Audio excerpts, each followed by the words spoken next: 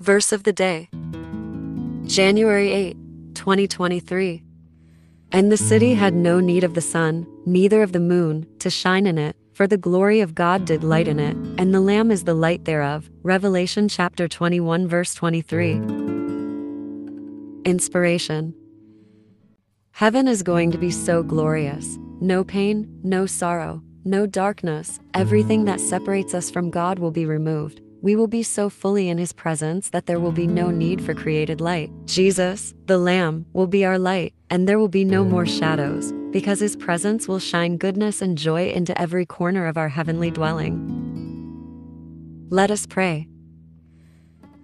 Father, I thank you for securing a home for me in heaven each day. The sun rises, and its light and warmth give me a foretaste of the eternity to come. Make the light of this life a signpost for me, so that I may walk in your light with my eyes on the finish line, and that I may lead others to your light as well. In Jesus' name, amen.